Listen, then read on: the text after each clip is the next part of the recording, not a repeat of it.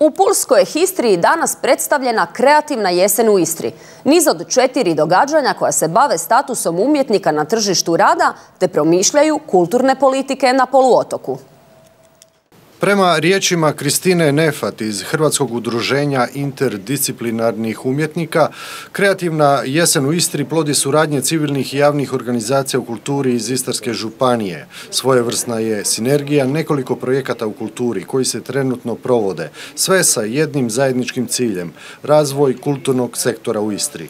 Vidjeli smo da se bavimo istom tematikom, kreativnim industrijama, e, umjetnicima, umjetnicima kao poduzetnicima, freelancerima, i onda smo odlučili to sve uobličiti u jedan zajednički, pod zajedničkim nazivom Kulturna jesen u Istri, tako da ćete imati prilike ovoj jeseni vidjeti, vidjeti ili prisustvovati prvom okruglom stolu već idući tjedan utorak.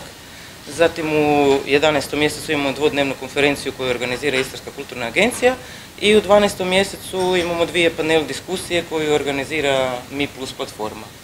Aleksandra Vinkerlić iz Istarske kulturne agencije predstavila je dvodnevnu konferenciju pod nazivom Suvremeni trendovi od kreativnih klastera do umjetnika poduzetnika, koja će se održati u Labinskoj Lamparni 13. i 14. studenog.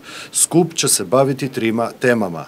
Dakle, te tri teme e, tematiziraju e, podršku koju jedinice lokalne samouprave kroz mreže kreativnih gradova daju kreativnim i kulturnim industrijama, tematiziraju status i ulogu umjetnika na tržištu rada i kao treća tema koju ćemo se dotaknuti u ovoj dvodnevnoj konferenciji jesu klasteri kreativnih i kulturnih industrija.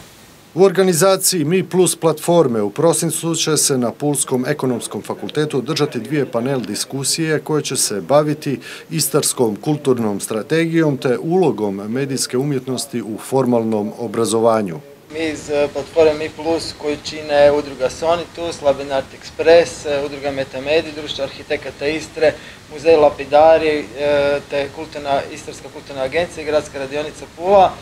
E, nekako u ovoj godini imamo e, više aktivnosti e, kojima nam je cilj razgovarati o kulturnoj politici, o određenim promjenama a koje za cilj imaju ili edukaciju mladih ili e, poboljšanje produkcijskih uvjeta za umjetnike. Županijski odjel za kulturu podržao je Istarsku kreativnu jesen, budući da je jedan od glavnih ciljeva odjela razvoj kulturnog sektora u Istri. Mi smo se odlučili malo produljiti vrijeme trajanja Istarske kulturne strategije, jer nova financijska perspektiva Europske unije kreće od 2021. do 2027 i željeli bi biti usklađeni sa njom radi toga da bi bilo moguće prijavljivati se na europske fondove. Sve ono što će se događati 19. i 20. još uvijek će se događati kroz sadašnju perspektivu, kroz programe koji sada postoje od Erasmusa nadalje i sve će se i u buduće temeljiti na novoj kulturnoj agendi iz 2018. godine gdje je jedna od temeljnih postavki upravo razvoj kreativnih i kulturnih industrija.